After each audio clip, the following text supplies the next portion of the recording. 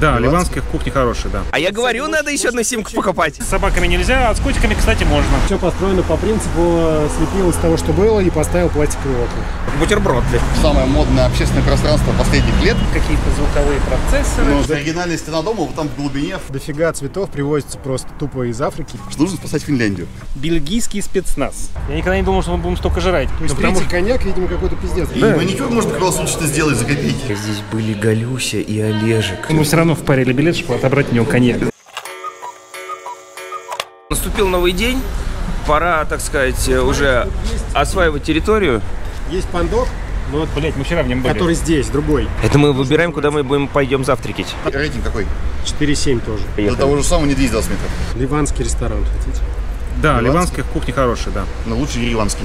О, еще один сарай поехал. После вчерашнего адового перелета мы наконец выспались, а, потому что спали мы вчера примерно один час за двое суток из-за ночного перелета. Вот, у Петрова теперь тоже вторая камера. У него шарманка вот такая со стабили- Да-да-да. с механической стабилизацией. Телефон подсоединяется по Wi-Fi к этой приблуде. А Wi-Fi Да? я занял Степа. А я говорю, надо еще одну симку покупать. Степ, ты что-то прогрузился. Ты покрути там, компас покажет, куда идти. Ну, Пришли мы тут э, в так называемую голубую мечеть. С собаками нельзя, а с котиками, кстати, можно. Насколько я помню, сверху мечети отмечается фаза Луны в виде там полумесяца или какого-то другого знака. Это связано либо с началом строительства мечети, либо с ее окончанием, либо когда они там ее осветили, что-то в этом роде. Вы по внешнему виду Петрова не судите, он довольно эрудированный парень. Но мы идем в некий район Конт, Степа вот нас ведет, Сусанин. Это называется старый район Еревана, или еще называется Ереванские трущобы. Да. Там адский самострой, и все построено по принципу э, слепил из того, что было, и поставил пластиковые окна. Тут какие-то эти кровельные крыши. Диван какой-то драный. Газовый счетчик, скорее всего, работает на симках. Есть деньги. Включил газ, нет, выключил. Адская парковка. На горе. Там слишком хорошие сваи. И звуки такие, как из Half-Life. Ждем страйдеров. Аутентично. Да? И невероятно, что такое возможно буквально в 10 минутах от самого центра Еревана. Компот, какой твой любимый объек- объектив на сегодня? Сегодня 35 гораздо лучше, потому что нужно показать одновременно высотное здание на фоне и эти прекраснейшие гаражи на переднем фоне. У них тут, кстати, регулярно проблемы с вывозом мусора. Вот тут, конечно, не самый этот классный район, понятное дело, но все равно мы уже кучу видели помоек, где вот просто вот столько мусора навалено. Не- непонятно, как часто его вывозят. И он, естественно, воняет, гниет на солнце. Производство ветряков и производство солнечных батарей – это просто тупой способ аутсорса производства энергии куда-то в Китай. Шли-шли и нашли уголок родины. Он еще клевая мышь. Ждал я тут Степу позавчера в аэропорту в нашем амстердамском. Я там сел за столиком рядом с заведением, где там еду дают, там как- какие-то бутербродные. Ну, что еще можно купить в, Голландии, в голландском аэропорту? Бутерброд. Там уже было достаточно поздно, 10 вечера, и народу в аэропорту почти не было. Вот, там несусветное количество мышей бегало. Просто десяток, наверное, или два. Переходим пешеходный переход. Сейчас нас тут собьют нахер. Не, вроде кто-то притормаживает. Нет, не притормаживает, а объезжает. Если что, кормите добрых мышей в аэропорту Схипхол, они хорошие. Варламов ездил э, в Лондон в самое модное общественное пространство последних лет, которое в каком-то бывшей, бывшей промзоне. И там на самом видном месте просто мега пафосное место, и там э, магазин Samsung. Где обычно бывает Apple, там как бы Samsung все повернул. У телефонов LG есть своя какая-то группа фанатов, они туда ставят какие-то звуковые процессоры. Ну, что-то. так, вид, даки, видимо, хорошие. Еще есть э, типа сп- специальные какие-то китайские плееры, которые работают только со флаками, и типа вот они считаются, что у них там самые лучшие музыкальные процессоры стоят. Мы тут исследуем э, ереванский самострой, весь вот этот наружный слой, который при- Пиздец, лифт! Это, это все самострой, включая вот этот лифт. Вот это- Оригинальная стена дома вот там в глубине в трех метрах. да. Вот Вон там желтая, которая вот там вот, на, на тыльной стороне лифта. Кряченый лифт это тоже самострой. Там дверь! Они прорубили в стене дома дверь, чтобы в лифт можно было заходить. А что я разорался-то? Непонятно совершенно. Ему не хватило вот он этого. вот еще он еще выноску сделал на полметра. Мы тут опытным путем выяснили, что армянские мужчины не носят шортиков. Есть И не танцуют. Мы не видели танцующих мужчин и не видели А мужчин. как, в же- а как же Фрунзик Макарчан? все ходят в брюках или в джинсах даже в жару. Поэтому мы себя чувствуем нел- неловко. Как колоритно выглядит.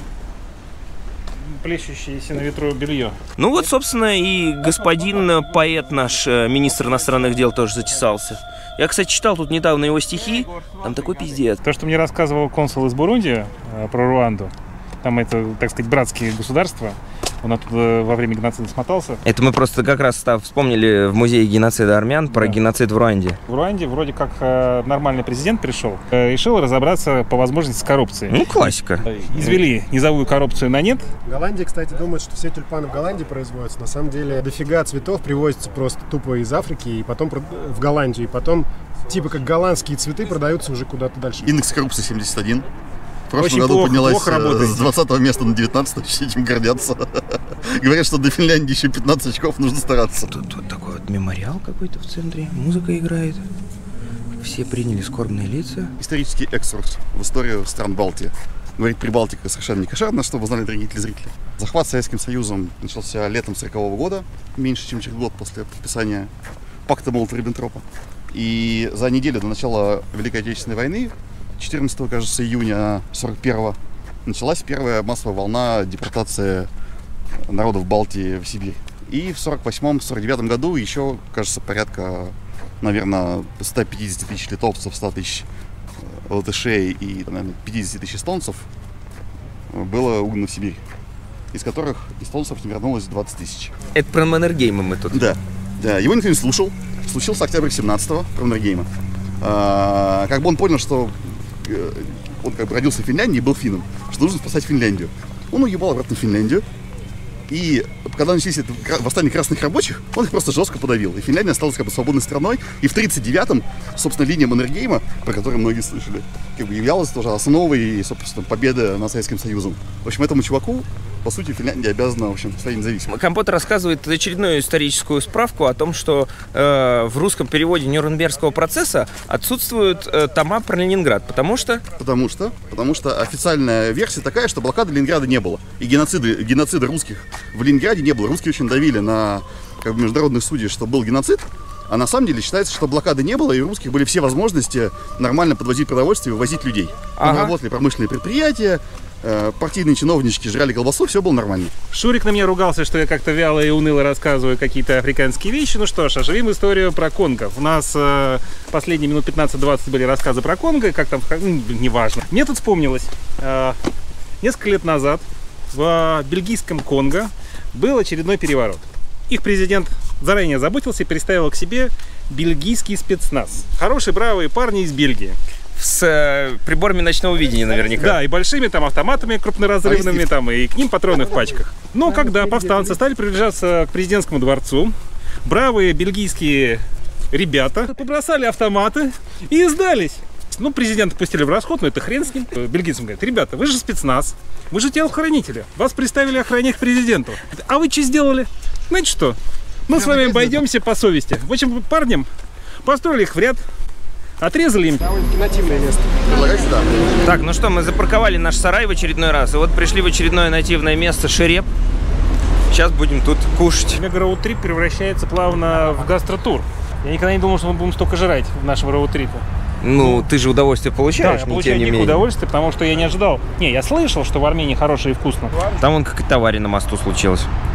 Интересно, она сказала, что дегустация двух коньяков стоит 4 500, а трех дегустация 10. трех 10. То есть потому третий коньяк, видимо, какой-то пиздец. Ну дорогой. ты видел там какие-то коньяки А можно без 275? дегустации за одну?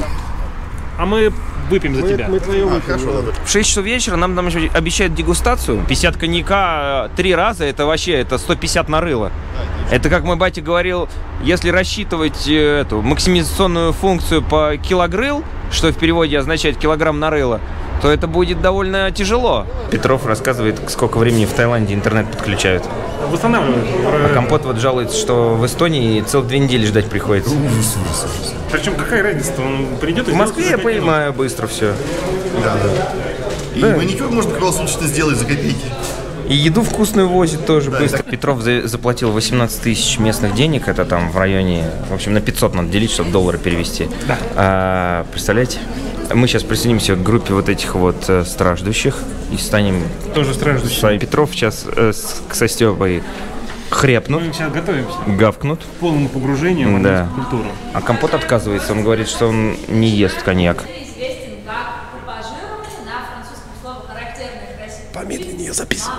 Сказали, что бочки служат в среднем 80 лет. Делают их из дуба, обжигают, там долго готовят. И в этом музее 15 тысяч бочек для выстаивания этого спирта. В общем, довольно-таки неплохо. Раменская здесь были Галюся и Олежек, а также Броницы, Горячие Туры, 2015. У нас э, есть несколько бочек э, как бы ведущих э, держав мира, держав ядерных. Например, Эстония раз и Эстония номер два. Это не значит, что бочка принадлежит Путину. Это значит, что бочка принадлежит президенту Армении. И он вправе ее в любой момент за- запросить с этого завода. Ну, Димка-то хоть спасибо написал, и то хлеб. Подпись у него, правда, только какая-то корявая. Родители были хорошие очень. Научили говорить спасибо. Ну, по-моему, шоколадки. Да? А здесь что? Здесь какие-то сухофрукты. Это, оказывается, не стаканы накрыты. Ё-моё, я думал, там стаканы. Ну, Петров, ты видимо, недоволен так же, как и я? Немножко расстроен. Мне все очень нравится. Я Да я не сомневался. пред- предвкушении. Это же экскурсия, тебе они всегда нравятся. Ну а что, плохо, что тебе рассказывают, все очень интересно. Вот такой вот голландский штурвал получается. Ага. Ну чё, Степ, ты уже предвкусил? Вот так вот это будет выглядеть. Мне нравится, что все рядом сели. Ну, голубчики какие. Делегация. Присоединяйтесь к нам. Ой, смотри. ой, хорошо, да. Вот понюхайте, понюхайте, понюхайте. Ну ты свое отдаешь, да, на благо Отечества? Ну пусть он с ними хотя бы посидит. прям трясет? Компот очень не любит коньяк. Мы все равно впарили билет, чтобы отобрать у него коньяк. Вообще супер сейчас. Тут еще он конфетки дают. Сегодня рекомендует бокал тюльпан. В зависимости от сегодняшней влажности. Начинаем дегустацию с молодого коньяка, тот, который слева. Наш Арарат, Визвиз, Петров, тебе ближе к сердцу коньяк? 10 лет. Наш Да, наливать надо так, что когда ты его кладешь на стол, он не выливается. Петров, ну ты истомился. Да пора уж. Голландский коньячный штурвал. Степ, ты видишь в глазах Петрова любовь?